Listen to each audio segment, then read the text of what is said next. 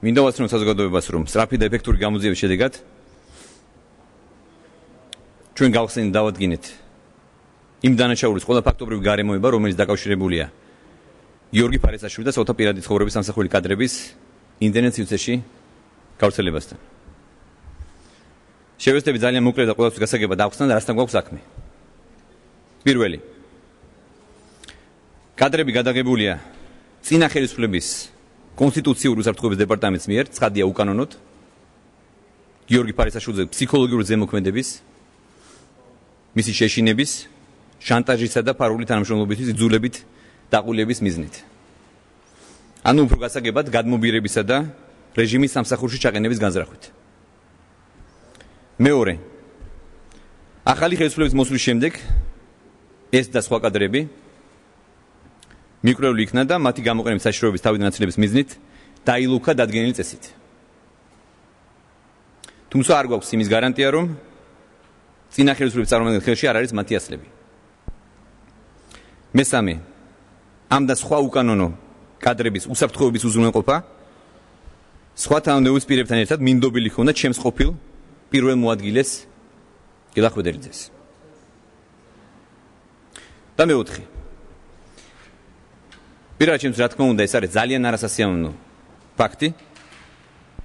ჩემმა პირველმა მოადგილემ გელახვედელიძემ სამწუხაროდ ჩაიდინა არა მარტო დანაშაული არამედ მოხელისათვის და მით უმეტეს შინაგან საქმეთა სამინისტროს თანამშრომლისთვის აბსოლუტურად შეუფერებელი საქციელი. მან არაადეკვატურად და ძალზე მტკივნეულად მიიღო მის მიმართ ბოლო პერიოდში მედით გავრცელებული. პირადად ჩემი შეფასებით სრულად უსაფუძვლო ბრალდებები ცილისამებები და გიორგი ფარესაშვილის შურიზიების მოტივით დამოუკიდებლად განათავსა ეს კადრები ინტერნეტ სივრცეში მისი ფიქრით ანგარიშტორებს ამ ფორმით შეწყდებოდა მისი მართ წარმოებული ეს ცილისამებული კამპანია. ჩემი ოფილი მოადგილი გელახვედერზე დაკავებულია. მე რა თქმა უნდა არ ვაპირებ ჩემი დღევანდელი გამოსვლა იყოს ტრაპარეტული, ბანალური, რომ ჩემს რაც მოხდა არის ძალიან მძიმე. მე მინდა განმარტო მე ვარ შინაგან საქმეთა მინისტრი და მაქვს ჩაულებრი მოქალაქეზე მეტი თმენის და რა ვსთავარია ყოველგვარი ემოციების გარეშე გაწყვეტილების მიღებისა და მოქმედების ვალდებულება.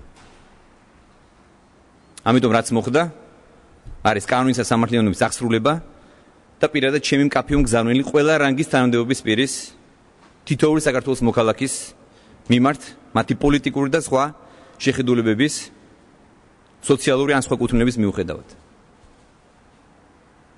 მე არ ვაპირებ ვიყო შინაგან საქმეთა მინისტრი რომელიც ხელსაფარებს თავისი ოჯახის წევრებს მეგობრებს ნათესავებს შაგრავს ხელქვეითს იმისათვის რომ დაიცვას მისი უფროსი.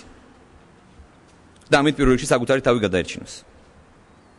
ეს ეპოქა საქართველოს დასრულდა და დარწმუნებული ვარ რომ არასოდეს აღარ დაბრუნდება. მე მინდა მიმართო საქართველოს თითოეულ მოქალაქეს, ყველა ოჯახს და საგანგებო თითოეულ პოლიციელს. ჩემს თითოეულ კოლეგას თანამშრომელს. მე ვარ და მომავალშიც ვიქნები თითოეული მათგანის მთავარი დამცველი. მაგრამ არავის და არასდროს არ უნდა ეპატიოს დანაშაულის ჩადენა და კანონის დარღვევა. მით უმეტეს ამ ფორმით. სწორედ ეს არის საქართველოს ისტორიულ ევროპულ ოჯახში დაბრუნების ერთადერთი გზა. და ყველა სხვა გზა ეს არის დემაგოგია და პოპულიზმი. ასევე მე მინდა გაცნობოთ რომ საქართველოს პროკურატურასთან შეთანხმებით მიღებული განაცხადება სამოქალაქო საზოგადოების მონაწილეობით დაუყოვნებლივ განადგურდეს წინა ხელისუფლების მიერ შექმნილი პირადი ცხოვრების ამსახველი ბინზური არქივი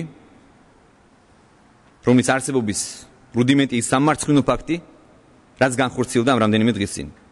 ჩემი ყოფილი მოადგილეს მიერ